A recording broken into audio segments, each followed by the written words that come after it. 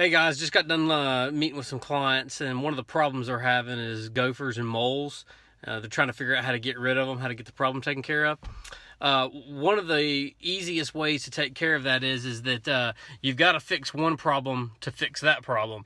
Uh, you've got gophers and you got moles because a lot of times they're there eating grubs and worms and other insects that are in your yard. So to take care of the gopher and mole problem, you typically have to take care of your uh, grub worms, worms, and other insect problems. So by keeping your yard on a, uh, a routine maintenance program uh, where you're using some pesticides and some things like that, where you're trying to take care of the grass and keep all the insects out, will in turn have a positive influence on getting rid of other things like gophers and moles. So uh, you can get these products at like Home Depot, Lowe's, uh, you can spread them out. They're real easy to use.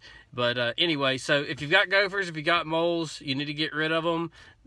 Typically, it's uh, you got to fix another problem, and uh, it will in turn take care of that one for you. So if you got any questions, reach out. Let me know.